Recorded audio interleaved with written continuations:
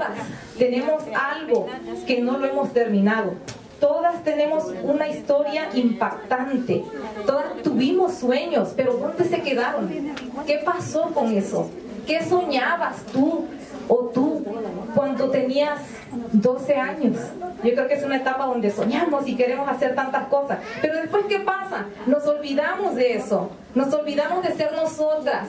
Nos olvidamos de que tenemos una vida. Nos olvidamos de que no importa que ya tengamos hijos. No importa que tengamos un esposo que no nos supo valorar. No importa que estemos solas. Podemos hacer muchas cosas. Pero eso tiene que empezar por ti. Tienes que creer, creer que tú puedes hacerlo. Y no importa que tengas tantas cosas, que no puedas y que te levantes cansada y que te acuestes cansada y que no te dé tiempo. Aún así podemos. Y si yo les digo que sí se puede, es porque yo lo, he podido hacer. O sea, yo puedo, ustedes también pueden. Entonces, con eso, les voy a decir que esperen próximamente mi libro. Se llama Ocho años de prisión. Muchísimas gracias por estar aquí. Sí, gracias, hermosa.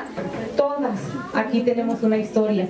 Todas hemos pasado por cosas difíciles y yo lo sé porque lo puedo ver en sus ojos.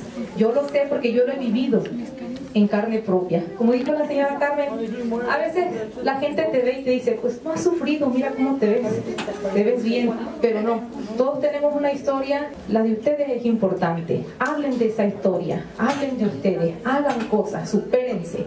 ¿Cómo piensas impactar a los demás?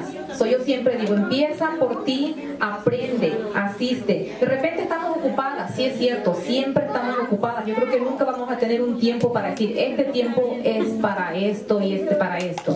Hay que hacer un espacio de nuestra ocupada agenda para, para aprender. Yo siempre lo he dicho, soy ambiciosa, extremadamente ambiciosa en aprender. Y yo creo que todos tenemos que tener algo de eso, porque si no aprendemos, nos seguimos quedando atrás.